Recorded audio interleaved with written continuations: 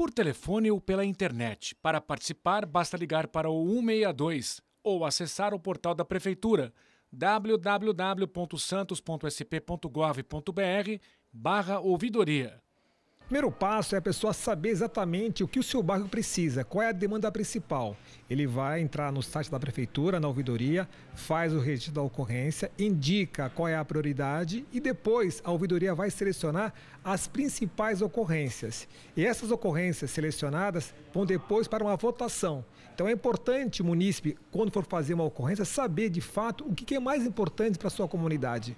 Zeladoria, na verdade, é uma rotina e obrigação do poder público. Então, quando o munícipe tem alguma demanda de iluminação, capinação, serviços básicos de zeladoria, ele faz a ocorrência e a prefeitura atende ou faz a programação.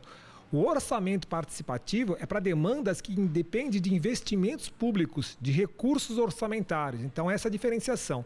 Zeladoria faz o registro e a prefeitura programa ou executa e que depender de investimento deve ser indicado para orçamento.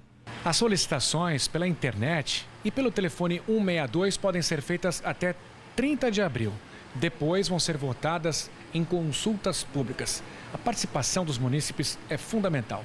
Desta forma, eles garantem que reivindicações do seu bairro sejam incluídas na Lei Orçamentária de 2020. Segundo o ouvidor municipal, também há equipes que vão percorrer os bairros para ouvir as demandas da população. Também tem a busca ativa. Então, aquele cidadão que por algum motivo tem dificuldade de acessar a internet, não quer telefonar, a ouvidoria tem uma programação do Vivo Bairro, que são os mutirões. E nesses mutirões, uma equipe da ouvidoria fica percorrendo os bairros e anotando as reivindicações. Essas reivindicações depois serão encaminhadas para o programa de zeladoria e aquilo que for realmente objeto de orçamento vai entrar para votação também.